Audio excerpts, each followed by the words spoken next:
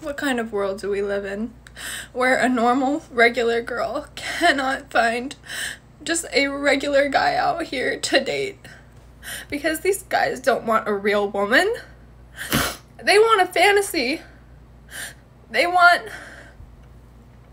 to live in this fake fantasy world. They would rather jack off to some screen, to some robot rather than actually deal with a real human being and what comes with that. You know why?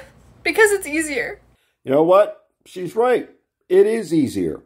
Because it means, as a man, you don't have to put up with the relentless, ever increasing demands and unrealistic expectations of today's modern women. You don't have to put up with the narcissism and delusions that they live by. You don't have to put up with their toxicity and drama something that today's modern women wallow in and are defined by. And it means, as a man, that you have peace in your life, not the constant turmoil that today's modern women bring to any relationship.